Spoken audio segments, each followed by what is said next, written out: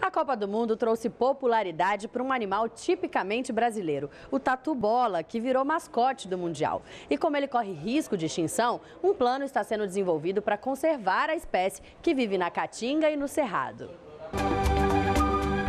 da mistura entre futebol e ecologia nasceu o Fuleco, nome da mascote da Copa do Mundo 2014, que fez com que o tatu bola, o animal que inspirou o símbolo do Mundial, ganhasse popularidade. Ele traz todo uma, um, um chamamento, né? Uma, chama toda a sociedade para querer conhecer sobre o tatu bola, por que, que ele está ameaçado extinção, como podemos fazer para ajudá-lo. Mas esse animal simpático, tipicamente brasileiro, que vive na Caatinga e em algumas regiões do Cerrado, está correndo um sério risco de desaparecer.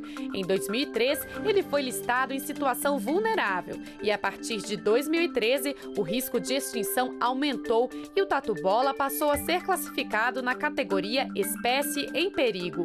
Entre as causas principais da redução da espécie espécie estão a caça e o desmatamento, que está prejudicando o habitat natural do animal. Até 2020, todas as espécies brasileiras ameaçadas de extinção vão contar com um plano de ação feito pelo ICMBio, o Instituto Chico Mendes de Preservação da Biodiversidade. O objetivo é impedir que essas espécies desapareçam, mas por estar com a sobrevivência gravemente ameaçada e, claro, após ter chamado a atenção do mundo inteiro por ser a mascote oficial da Copa do Mundo 2014, 2014, o Tatu Bola ganhou um plano de ação específico já para este ano. A gente tem 38 ações uh, planejadas, todas visando o combate dessas, dessas pressões, a caça e a perda de hábitat. E aí também tem algumas ações que estão ah, ah, que estão na orientação dessa de melhoria do conhecimento da espécie, que tem algumas respostas que a gente também precisa estudar melhor para saber como orientar melhor as nossas ações.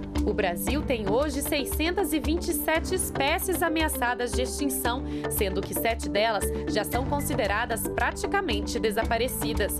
Para quase metade dessas espécies de animais em risco, existe um plano de ação para reduzir sua mortalidade.